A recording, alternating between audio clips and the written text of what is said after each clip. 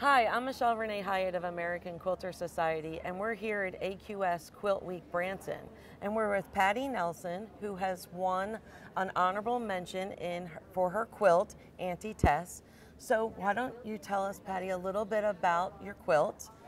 Okay, uh, the quilt is a hand, traditional hand needle turn applique quilt with hand uh, embroidery on it.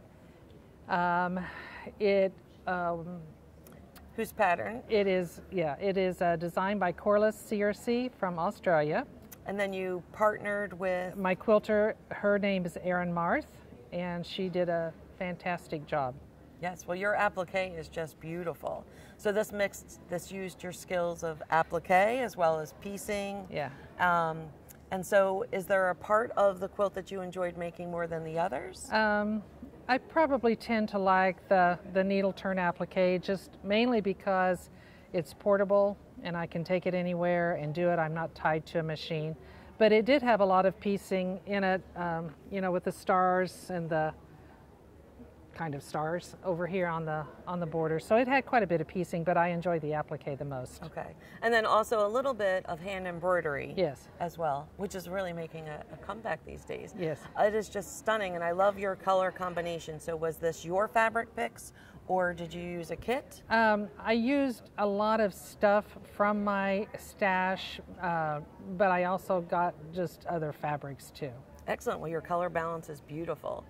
Now, tell me a little bit about um, what you call this quilt, because I know you have a different name for it. Right. Uh, the the name the designer gave the quilt the name Auntie Tess, and I'm not sure. Other than I know she used this circular part was her inspiration from a an, a vintage um, ladies powder compact that was a circle, and so the design was etched on that. And I think, uh, well, I know she used that for her inspiration. So she named it Auntie Tess for some reason about that, I don't know. Um, I renamed it actually Just Breathe because um, my I was a caretaker for a friend who had a double lung transplant in 2020 in St. Louis, and we had to move there. Uh, he had surgery. We had to live there for three months. And so I sat in hospital rooms and doctor's offices and rehab centers for a long time, and I did most of the needle turn applique there. Okay. Um, and he recovered. He's doing great. He does everything he wants to do now, and so it was a, a, a very good outcome. Stressful time, but a good outcome. And so this helped me keep my mind off of the what Stitch ifs. therapy. Yeah. Yes. Yes. So Perfect. it's called Just Breathe. Um, if anything were to happen to me, he gets the quilt. Excellent. He's pretty oh, attached great. to it as well. Perfect. Now, I've seen this quilt a couple of times at our AQS show, Mm-hmm. uh, but this is your first quilt that you've entered in a quilt contest. Right. I entered it in Paducah last spring, and that was the first time I entered a quilt in a large international show. I mean, I've done state fairs and such, but um, nothing like this. And I entered it just because um, I wanted to know what the process was. I didn't think I'd get accepted. I s- was shocked when I did, and I certainly didn't think I would place, but I did get third at Paducah. Perfect. An honorable mention here. Yes. Which is great.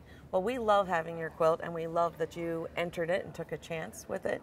I think many people are afraid, so I'm glad you shared your story. That you know, it you don't know unless you try. Right, Yes. right. And you know, the entry process was easy, and I had some experienced quilters that have sent their quilts here for many years that I reached out to that kind of gave me suggestions on shipping it and that sort of thing. So it was it was all around a good thing. Good experience. Yeah. Excellent. Yeah. Well, I am so glad that you shared your quilt with us, and I can't wait to see your quilt with us in Paducah this year. Yes. Um, and thank you for entering. And I hope you will enter a quilt in one of our quilt weeks.